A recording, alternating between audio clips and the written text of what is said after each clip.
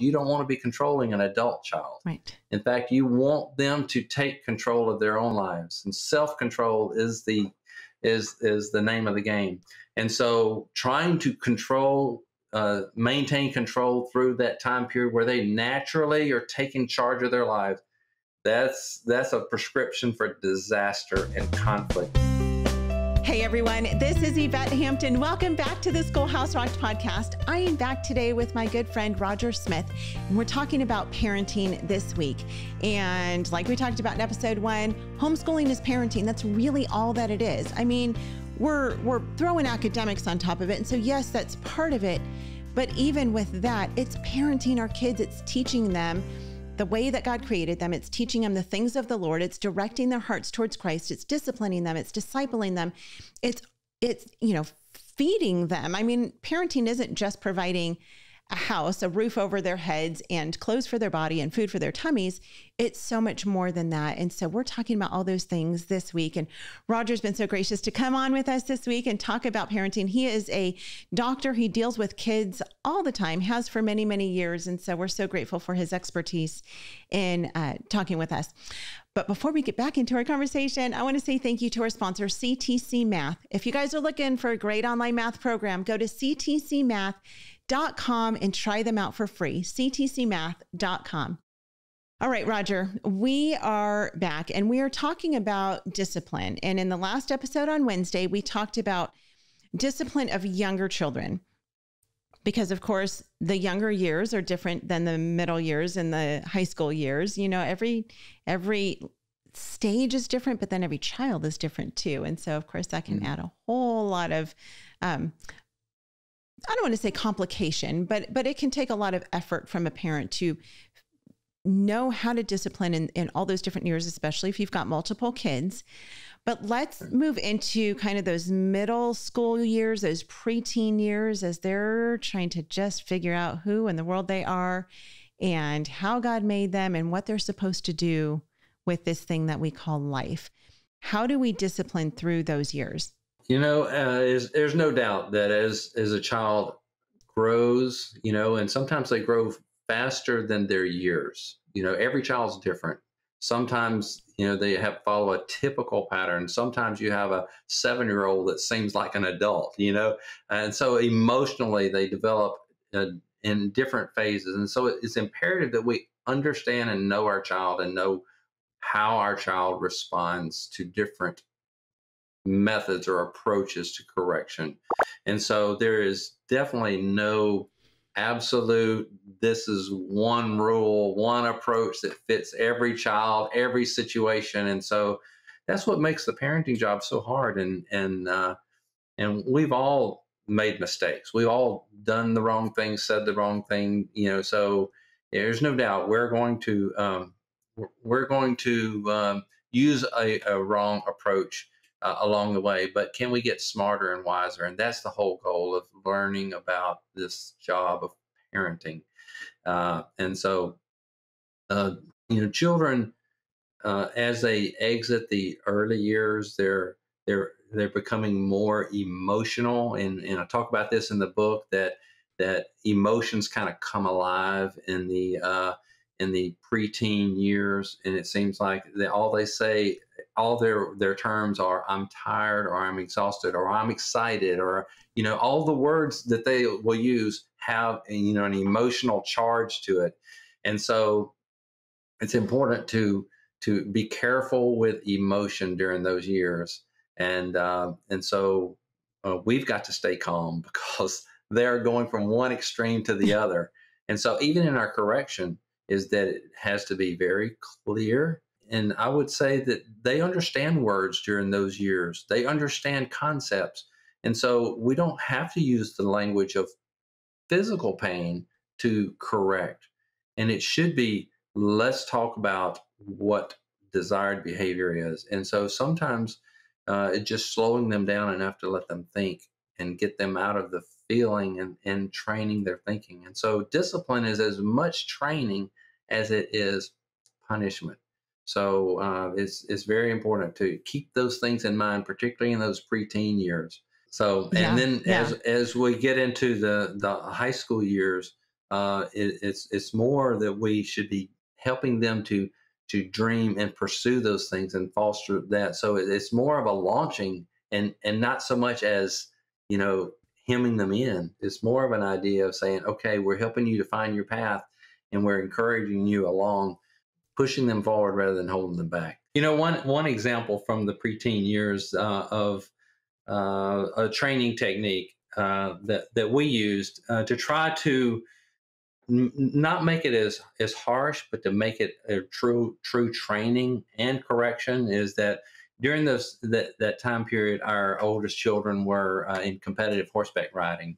And with uh, competitive riding, you have all these different things that are made of leather. There are saddles, and there are spur straps, and there are all kinds of uh, halters and different things. And so leather has to be conditioned to be to remain supple and, and useful. And uh, and so, but no one really ever wanted to take time to do that.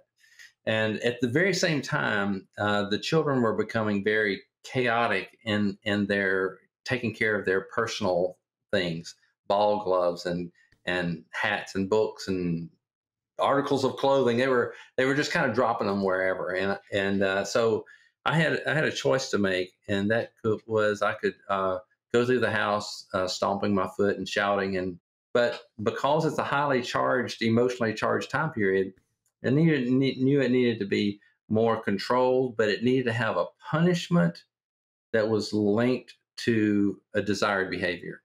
And so um, we we we came up with this plan where I had a I got a big cardboard box and it was the the jail for items that were out of their place. And so so I could go through the house at any time, night or day, and if something was on the floor, it was not in its place, I could get that item and throw it in the box. And that, but they had to redeem it. And so we we were teaching the idea of redemption. You, there was a price to redeem an item, and that's scriptural. Okay, so so to redeem any of their items that were in the box, they had to condition one piece of, piece of leather. And so they could do it while we were watching a movie or telling stories or reading books or different things. So it didn't have to be total painful, but it was something that everybody knew it needed to be done. Nobody really wanted to do it, but it was their price for redeeming their item. And so I loved it whenever it was a favorite pair of shorts or it was their ball glove or something that they had to have and I knew that they would sense the the in a sense the pain of having to uh, redeem it, and and and so that concept of redemption uh, uh became a very uh, very well known concept, and and today I see them doing the very same things in their lives. You know, whenever they need to fix something, they know that there's a price to to fixing it, and that's just normal training. And so sometimes the, the, the, the correction is not totally painful.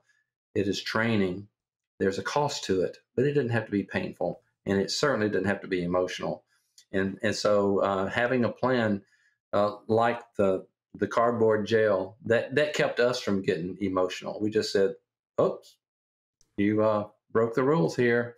There's a price to pay and so they knew and and it wasn't it was more relational. It wasn't like i was trying to put you know they they knew i was not trying to cause them harm and that they really were the ones that caused their own trouble. So so there there are things like that that we can do creatively to train our children to correct our children in a non-emotional non-harsh or you know injurious way.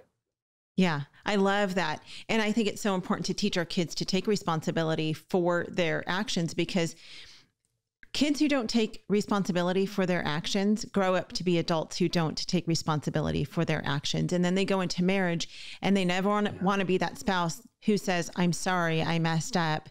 Will you please forgive me? And when we mm-hmm. teach our kids to do that, they'll have so much more success in their marriage because then they learn to do that. I've had to learn to do that as an adult and I still have a hard time doing that. But I was one, you know, growing up, I never, ever was required to or could admit that I was wrong about anything. And so, you know, it's been a hard a hard journey for me in my marriage to learn to say, you know, man, yeah, I really screwed up. Garrett's much better at it than I am. But, you know, I'm really sorry that I hurt you in this way or that I did this or did that. And so, you know, I, I think it's important to teach our kids to just own it. Just take ownership. It doesn't mean you're a terrible right. person. It just right. means you made a mistake. We all make mistakes. We all do dumb right. things. Let's get past this and move on to the next thing. So, uh, yeah, that's good stuff. Let's take a break. We'll be right back. What we do at IEW is break through the, the noise of the grammar and the writing prompts, and we say, this is what you do, step by step. And I've witnessed it over and over again, both watching Andrew teach and hearing from parents, this is the best writing program.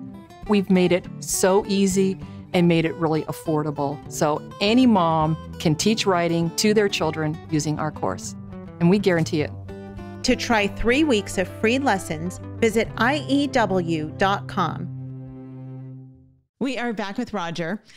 Um, so, Roger, I want to talk specifically to dads. And we have a lot of dads who listen to this podcast. And I'm so thankful for that because it's not a podcast just for moms, it's for dads as well. And dads have such an important role. You know, I think for such a long time, dads have been pushed to the side and said, you know what? Mom's got this parenting thing. You go to work, you earn the money you bring home the bacon and I'll just take care of the family. And that is not God's design for family or marriage. And so I would love for you to talk specifically to the heart of the dads who are listening and give them some encouragement. I love um, the role that dads play and they need to play. And, you know, the Proverbs, if we read through the Proverbs, it is all about the father speaking to his children. And it said over and over, listen to my wisdom, my son. And so uh, the the role of the father is hugely important. And I want to say it this way: is that uh, whether we like it or not, whatever dad does is perceived to be right and good. And so that's both bad and good. So if you uh, as a dad are not engaged, that's normal to the child. If you are harsh in your words and condescending toward your wife, that is normal. You're setting the standard. So, dad is the standard bearer.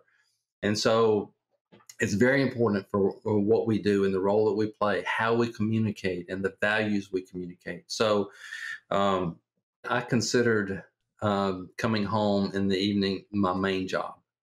Um, and because it has the most lasting impact. You know, uh, in my job here at the medical office, you know, there's going to be a day when I'm not the doctor here. There's going to be someone else, and it'll just go right on without me. In a matter of just a very short time, they won't even know who Dr. Smith is. They will have forgotten, but your children will not forget. And so the, the, the impact, the times, the, the engagement you have with them has a lasting impact. And so it's, it's very important for dad to be engaged with the children because, first of all, you are the, the standard bearer. You're going to uh, make whatever their decisions, you, you become the ruler, and they'll go, okay, well, dad, you know, he was harsh or he lied, or he stole, he was whatever, you know, it's mm-hmm. okay, you know. Um, and, and so, um, but you have dads have the chance to have the greatest impact. And so uh, I uh, I love this old country song that uh, that the dad was working away from home, and uh, it says he called back and and uh, while he was talking to the wife, he said before he knew what was going to happen, the child was on the phone and said, "When you're going to be home, Dad?" He said he said the first thing that came to his mind, he said, I'm already there. I'm the shadow on the ground. I'm the sunshine in your hair. You know, and he went on to just talking about your influence is there even when you're away at work. And especially if you have the relationship of trust and um, care with your children, they want to live up to the standard that you're setting.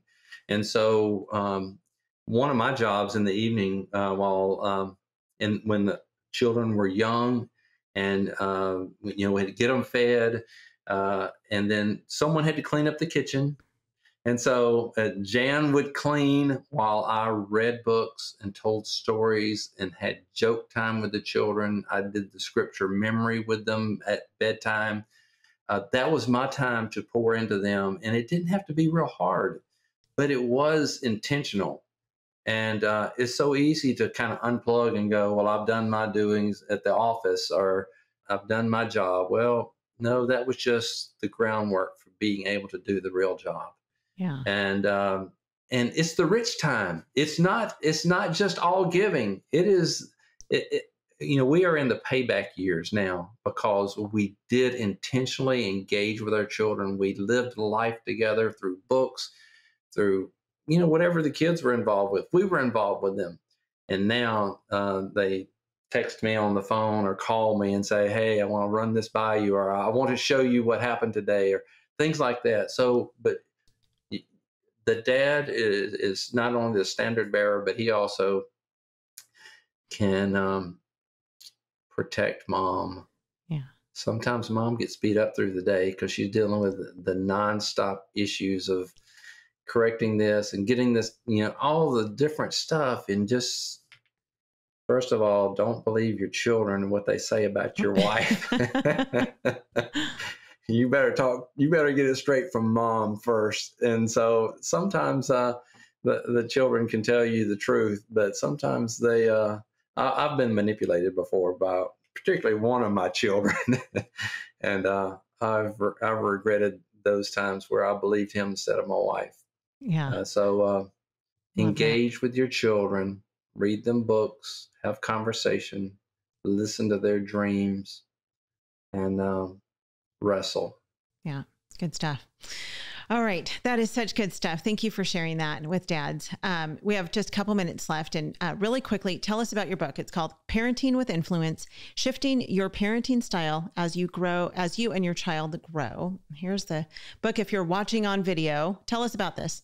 Yeah, and and so uh, there's a graph in there that shows how we early on in the early years we have control we think we do you know we have the most control we'll ever have whenever a child is an infant and very rapidly well in the early first few years you don't have as much uh, loss of control but very soon it starts lo- you lose control of your children and you lose it rapidly and you need to know that that's normal and healthy and appropriate because you don't want to be controlling an adult child. Right. In fact, you want them to take control of their own lives, and self-control is the is is the name of the game.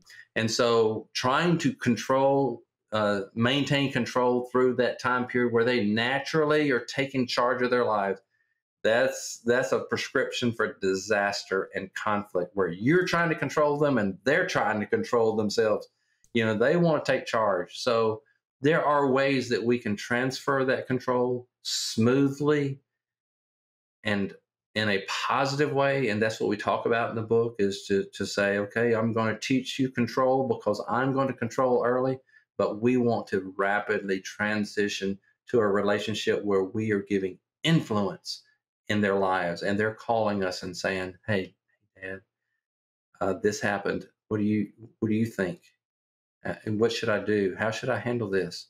We want that kind of relationship rather than us trying to, um, you know, rein them in, so to speak. And there's a there's a time where we have to kind of help them rein themselves in, but but it's really through an influential relationship. And we talk about how to convert from controlling to influencing, and that's what the whole book is about. The whole concept kind of got capsulized to me, you know, in the crucible of whenever I was staring face to face with a 13 year old son that I was trying to make practice a speech and he would not. And I realized very clearly he was in control. I could not make him do something. And I went, there's got to be a better way. And so we began trying to help other parents understand this transfer of control from us to them in a positive, proactive, hopeful way. And that's what we want hope in the home where everyone is winning and everyone is smiling. And so that's that's the premise of the book. I love it. All right. So the book again is called Parenting with Influence Shifting Your Parenting Style as You and Your Child Grow. And it is an excellent book. We will put links to that in the show notes. I wanted to say two more things really quickly before we end. One, I mentioned in episode one that Roger, you and Jan, your wife, your lovely wife, you guys are amazing. You are on the board of Homeschool Louisiana, which is the Louisiana State Homeschool Organization. We've talked about this several times on the podcast, but if you guys are maybe new to the podcast and you're not familiar with state organizations, go to homeschoolfreedom.com.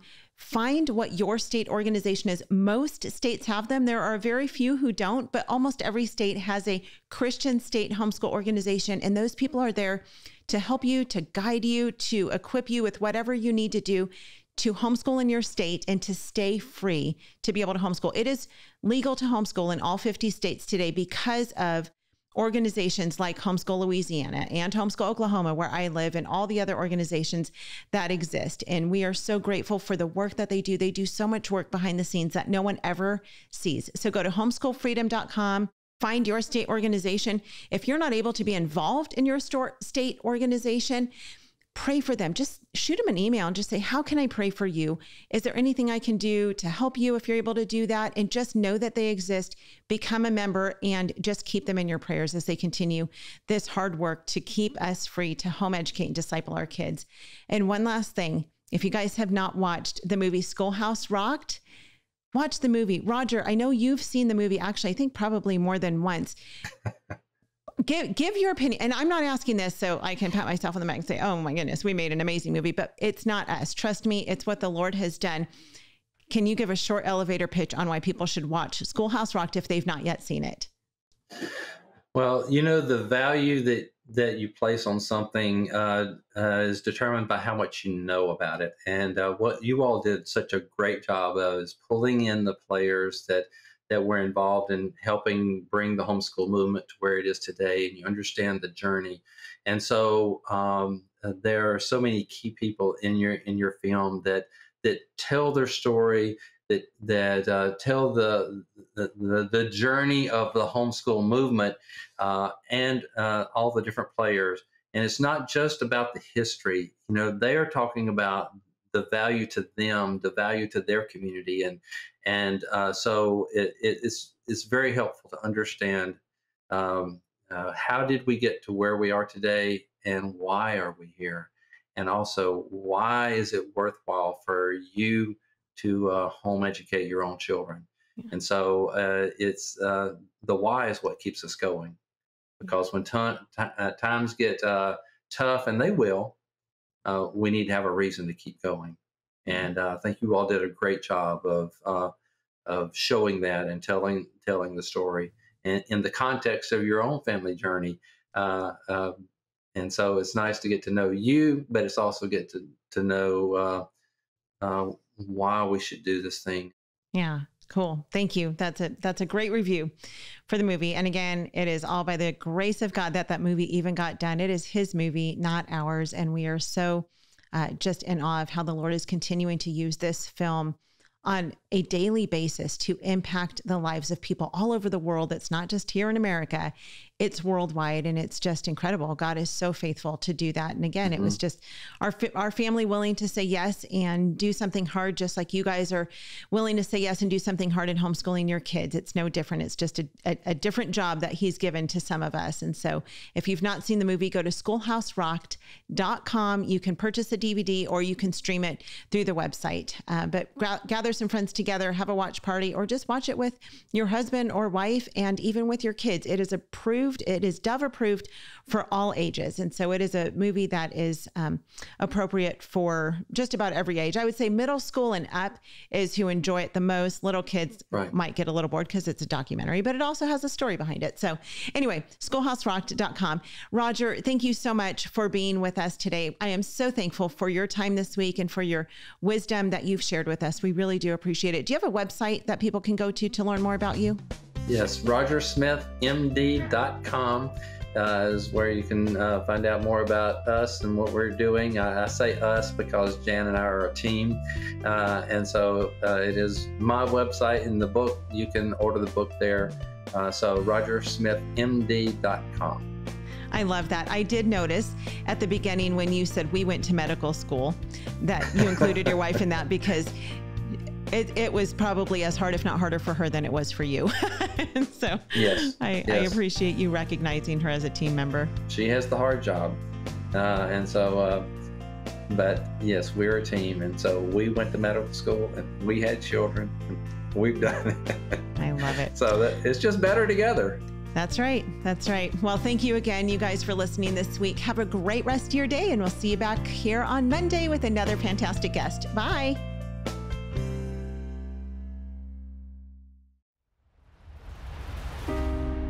You're not inadequate. You are perfectly capable. I mean, what is it about a parent that when their child turns five, all of a sudden the parent's no longer a viable option? Like, oh, you're done. Now it's the school's turn. I think the quality of education has steadily deteriorated in America. There is an agenda to steal our children. You feel inadequate because you've been taught by our school system that you're inadequate. We had no frame of reference for homeschooling other than it just seemed like torture. Like, why would a sane woman choose to be locked up with her kids for 18 years in a row when a school bus would come and take them away and give you like a nine hour break every day?